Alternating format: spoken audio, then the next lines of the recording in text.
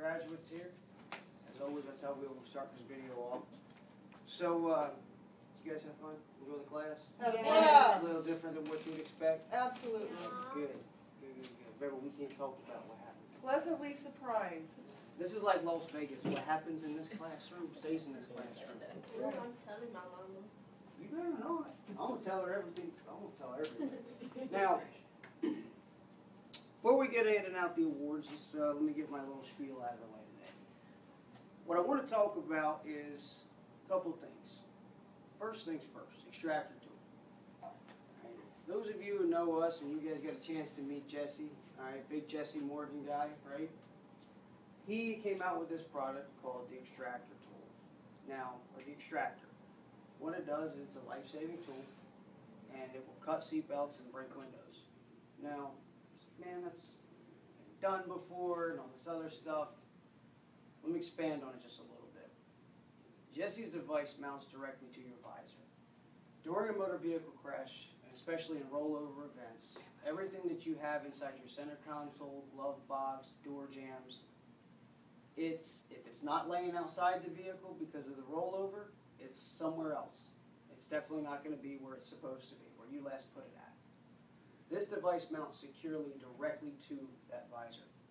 So rollovers and impacts, it's not going anywhere the way that it's designed. It's also made with surgical steel um, for the cutting surface, for the cutting blade.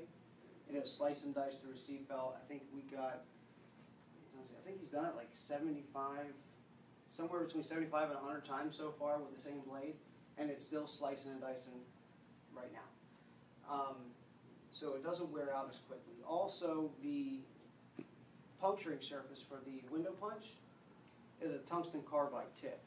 Steel, I carry a rescue knife on me because you know, extractor's coming out soon. But the steel bounces off of the window glass. So when you go in and you go hit that, a lot of times you wind up doing it and you're bouncing a couple of times until you finally get that good penetrating blow because it bounces back. The steel bounces, whereas the tungsten does a minute vibration and will smack and shatter that glass right away. The only thing better than that, and we're thinking about doing this, is using ceramics. Ceramic is just thrown into the side of the glass and busted out.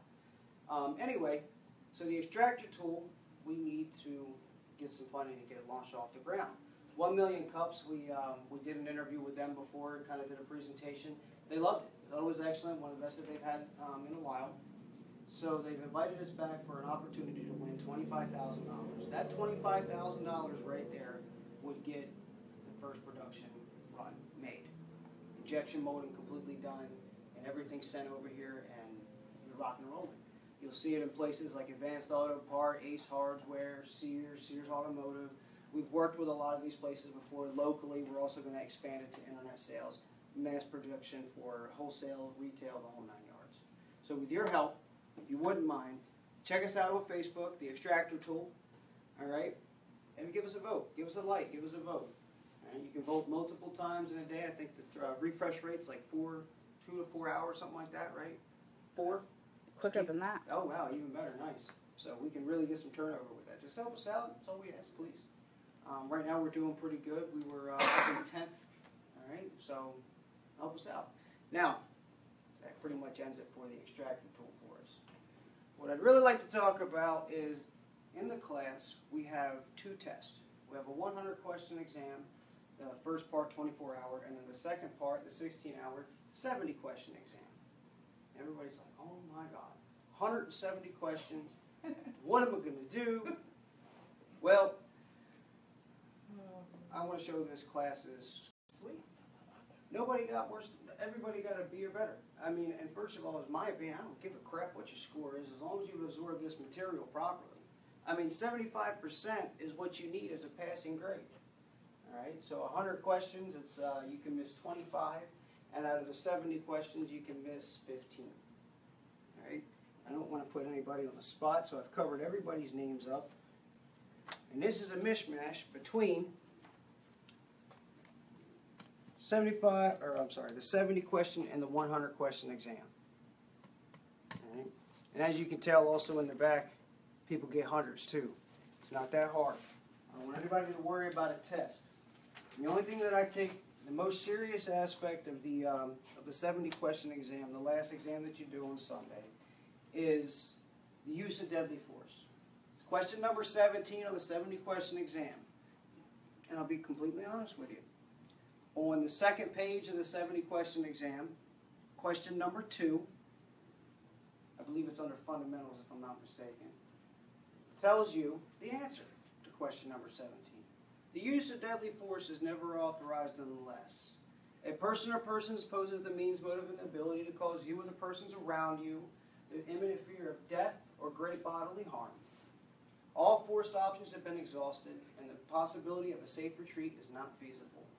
At that time, you'd be able to, you'd be authorized to use deadly force. It's a true-false statement for question number two. Question number 17 is the only time that I want you to think outside, you know, think for yourself. I would like to know when you feel that you would be justified in taking another human being's life. Because before you leave this class, I teach you use of force response to resistance matrix. So you understand what force levels you're allowed to respond with. All right, we're allowed to respond with force that is equal to or slightly uh, greater than the suspect to gain control. And once you've got the suspect compliant, comes your best friend. You do not want a civil rights violation. I tell you right now, that is a uh, federal crime. You're messing with somebody's constitutional rights, civil rights, you don't want to play that game. Right, so that's the only question that's really technically difficult because you have to think for yourself. Oh, God help us, we got to think for ourselves. What am I going to do?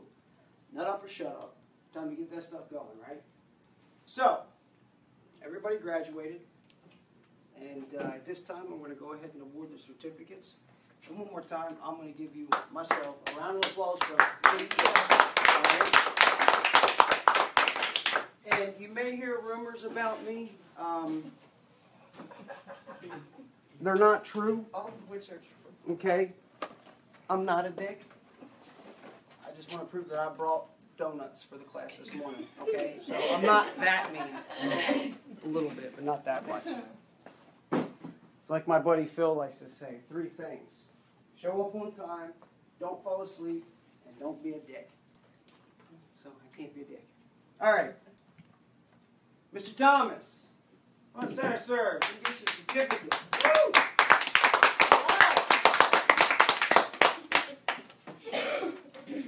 Thank you for coming. Thank you. All right. And we'll talk about going on here later, later on too, all right? Thank you, thank you. Okay. Joseph, Sheriff Joseph, I like, I like sherbet. sherbet. Yes. Oh, that sounds like, like a dessert. Sherbet. Sherbet. Yeah. Thank you for your services. Thank you for coming. Not even. That's not even right. Nicole, freeze, please. Thank you for coming. Thank you, I sir. appreciate it, okay? Appreciate you. Hey, Sherbet, I hope it was as good for you as Yes. it was for me. It was. Markeisha?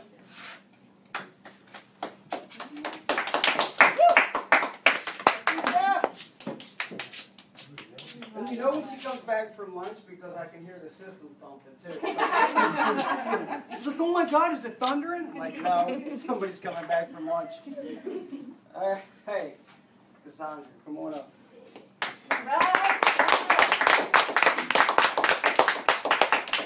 Thank you for coming out.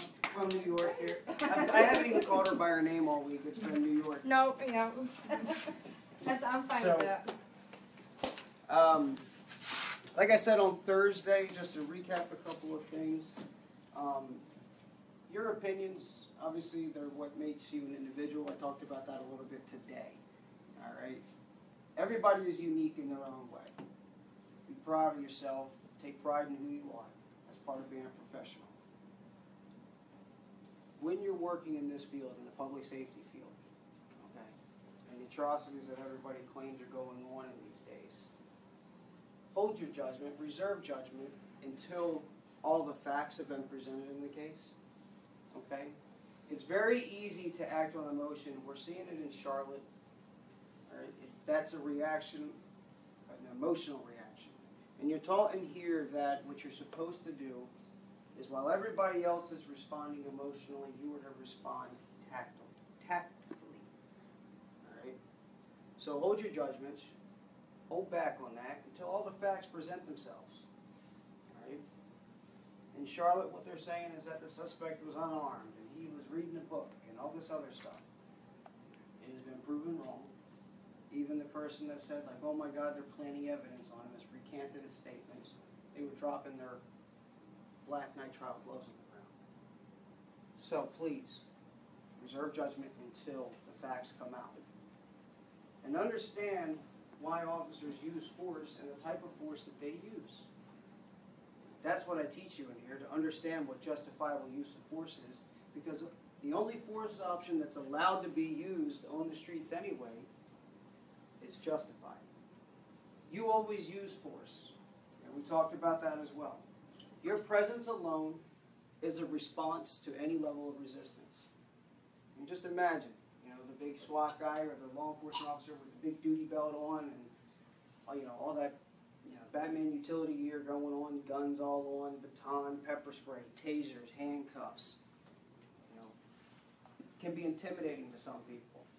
And if it's intimidating, it's a use of force, which is a good thing in some, and sometimes it's a good, good thing. It'll de-escalate situations because you're like, yeah, I really don't feel like getting tased today. So you have a good one, I'll be good. And that usually fixes some situations. Your verbals, giving a verbal directive to someone is a use of force. All right, a verbal directive with proper dialogue can either escalate or de-escalate a situation. So it's use of force. You must use proper use of force, and it must always be justified. And like I said before, the options of use of force, we are allowed to respond with force that is equal to or slightly greater than force applied, level of resistance. Absolutely. Right? Facebook out there, you guys in here. You know somebody looking to take, uh, looking for a career change, wanting to do something a little different, maybe has that desire to help the community out because even though we're security, we do hold a public service. It's my opinion that if you're doing this, you care for somebody else. You have enough compassion to take care of someone else and think for someone else outside of yourself. That's what part of being public safety is. You're a public servant. Yes, we're not sworn law enforcement officers. We don't, we're not bound by a duty to act. But I haven't met a single person in this field that's worked with me side by side and as a partner that has not um, willingly sacrificed time and, you know, their safety at times and strong mentality to do so. So to always do the right thing.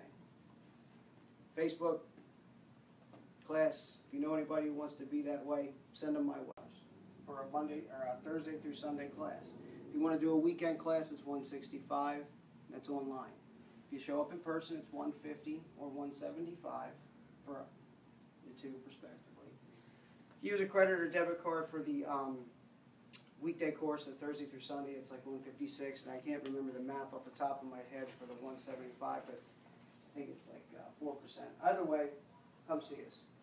Check us out online, psifortmyers.com. Check us out on Facebook. Obviously, you may already be there, but if you're looking at us at YouTube, at our Professional Security Institute YouTube channel, switch over to Facebook. Check us out on there. Give us a couple of likes. All right? I want to be Facebook famous, so share me. All right? And I'll do something crazy to do it, you know? What can I do? Can I jump off the top of the building? Is that cool? Do some jackass style stuff? Oh. oh, yeah. Or maybe we'll get hit with a taser. Do that again. Pepper spray. Something fun. We'll do something. I'm not going to test my bulletproof vest, so you can take that shit out of there. All right. Um, so check us out on Facebook. Check us out on YouTube, Professional Security Institute. If you like your Second Amendment as much as I do, God knows I'm a gun nut.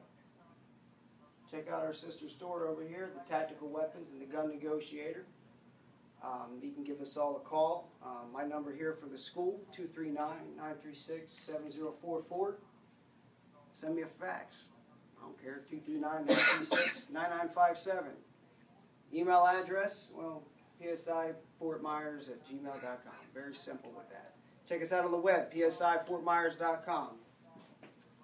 And as always, Facebook, guys out here, stay informed.